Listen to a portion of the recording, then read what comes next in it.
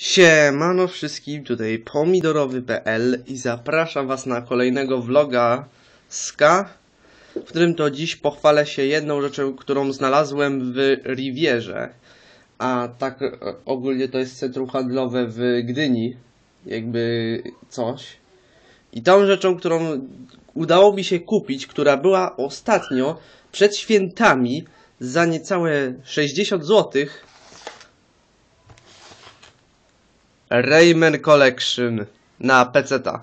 Tą grę udało mi się zdobyć ostatnio z jakiejś... Dobra, nie z jakiejś. Z jak... 3 dni temu. Tą grę udało mi się 3 dni temu wyłapać za 30 zł w Saturnie. I były tylko 3 kopie tego. Mi się udało natrafić na to. Więc jeżeli nie wiecie co, co tu jest za skład, Rayman Forever, Rayman 2 na PC po polsku, Rayman 3 na PC po polsku i Rayman Origins. Rayman Origins mam drugi raz, bo jak wiecie jeszcze robiłem vloga na temat tego, że mam Raymana Origins. I jak widzicie tutaj są opisy. Więc w, w Raymanie Forever podobno jest 60 poziomów w 6 niesamowitych światach. No zobaczymy. Rayman 2 to jest e, Rayman 2, którego nagrywałem, tylko że jak będę robił maraton Raymana to będzie z peceta. To samo z Raymanem trójką, ale Raymana trójkę jeszcze nagram na PS2. I Rayman Origins. Wiem, że może jakość być słaba, przepraszam za to niezmiernie.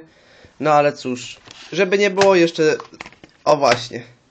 Proszę bardzo, Rayman Collection plus Rayman Origins i tutaj mamy instrukcję. Więc ja ogólnie jestem zadowolony z zakupu.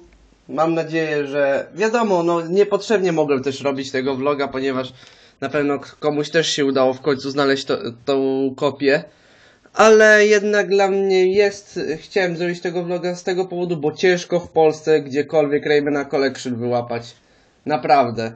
Z tego co się dowiedziałem.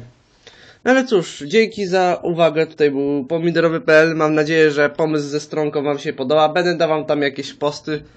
No i mam nadzieję, że będzie wszystko ok. Tak więc tutaj jest pomidorowy.pl i ja Was żegnam.